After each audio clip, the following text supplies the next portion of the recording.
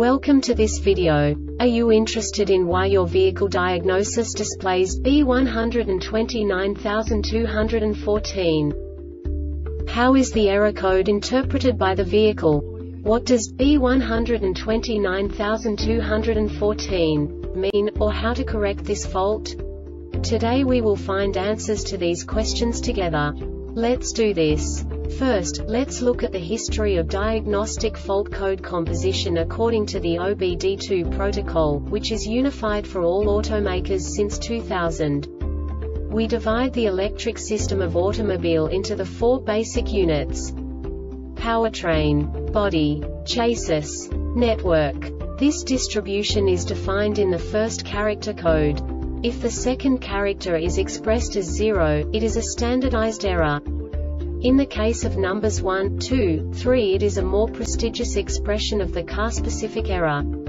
The third character specifies a subset of errors. The distribution shown is valid only for the standardized DTC code. Only the last two characters define the specific fault of the group. The add-on to the error code serves to specify the status in more detail. For example, a short to the ground. Let's not forget that such a division is valid only if the other character code is expressed by the number 0. Our website airbagreset.sk produces useful videos for you. You do not have to go through the OBD2 protocol anymore to know how to troubleshoot any car breakdown. You will find all the diagnostic codes that can be diagnosed in a Chrysler vehicles. Also many other useful things. The following demonstration will help you look into the world of software for car control units. You unbelievably can move the video a bit further. The error code is split into two bytes consisting of 16 bits. One bit is the basic unit that each computer works with. The bit has two logical states. 0, low level, 1, high level. By combining the first two bits, the basic character of the error code is expressed. The next two bits again determine the second character. The last beat styles of the first byte define the third character of the code. The second byte is composed of a combination of 8 bits. The first 4 bits determine the fourth character of the code. And the combination of the last 4 bits defines the fifth character.